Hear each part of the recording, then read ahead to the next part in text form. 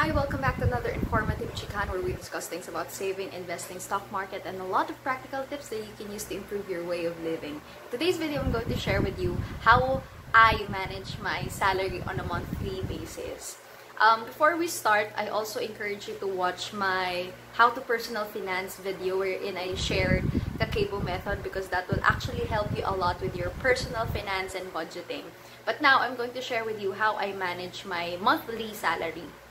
On top of the business that I have, I also have a full-time job where most of my expenses um, will actually be deducted in that salary.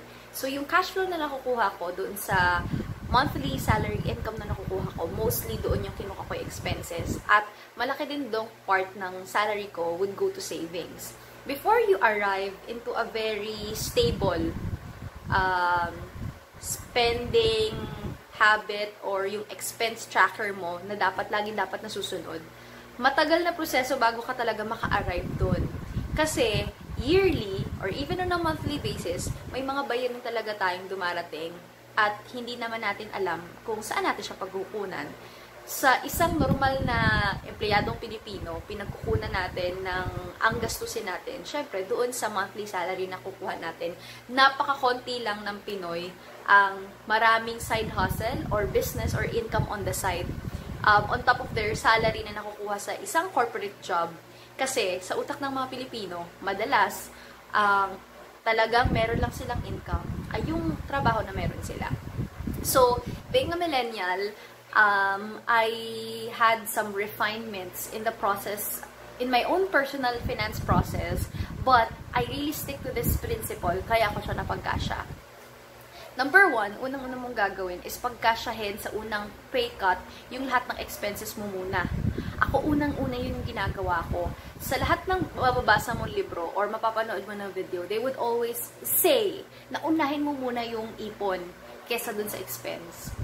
Alam mo, sa tagal ko nagtatrabaho at sa tagal kong pagiging mahirap, dahil hindi naman tayo lumaki sa isang mayaman or marangyang buhay, hindi talaga nag-work yung ganong principle sa ating mga normal na tao or normal na Pilipino. Kasi nga, mas marami talaga yung expense natin kumpara doon din sa sinusweldo natin kadalasan, kaya nahihirapan din tayo mag-ipon.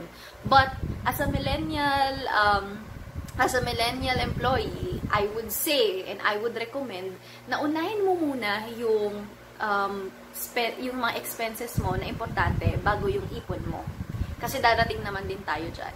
So, yung unang matatanggap mo, every quincenas, yung every quincenas na mo na ipon, pagkasyahin mo siya sa expenses mo.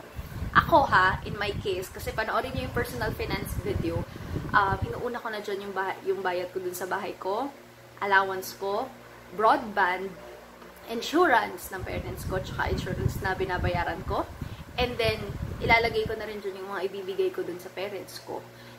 Sinisiksik ko lahat yon yung allowance na nilalagay ko doon, yun na allowance ko for the rest of the day. So, hanggang katapusan na yung allowance na meron ako doon. So, I would always recommend that, that in your first pay check ng buwan na yon importante na isiksik mo na doon sa isang bagsak na yon lahat ng expenses mo.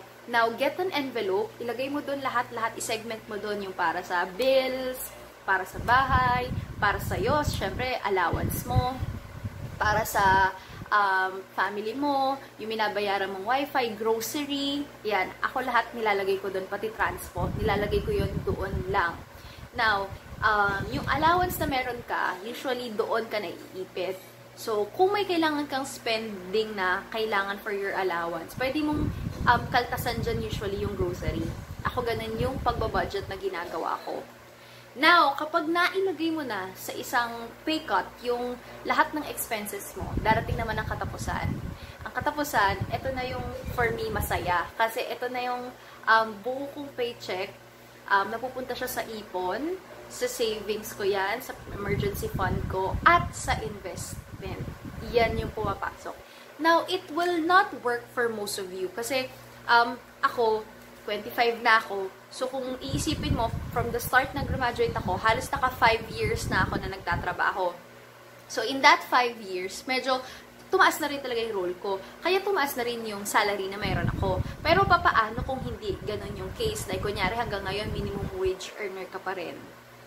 pwede mo yung, ano, pwede mo yung i-apply pa rin. Na yung first pay check mo, ilagay mo siya sa expenses, tapos yung the rest sa investment or sa ipon na meron ka.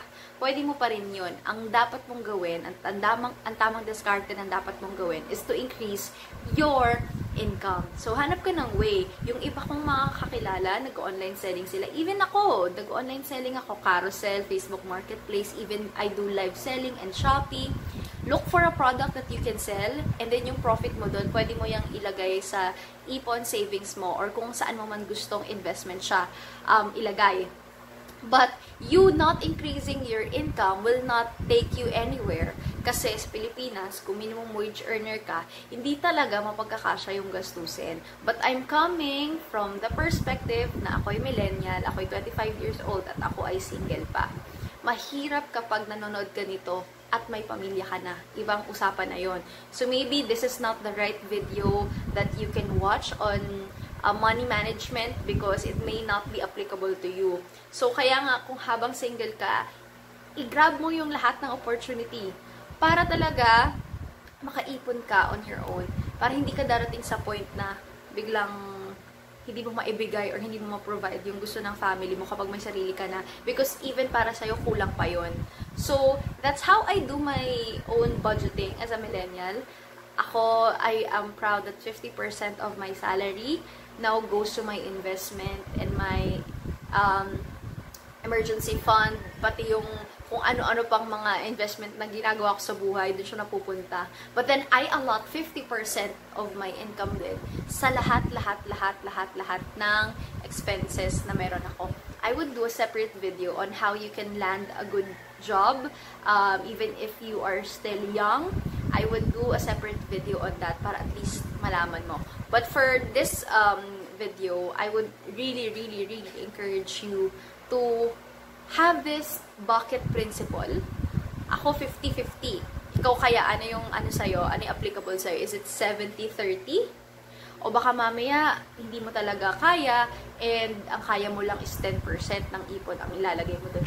Pwede pa rin yon But then, always just make sure that there's a percentage of your salary going to your saving or your investment, okay na yon 5 to 10% nga, okay na eh. Medyo nandun lang ako sa maturity age na kaya ko na yung 50%, kaya ko ginagawa yon So yun, I hope you guys enjoyed this video and thank you for watching. Bye!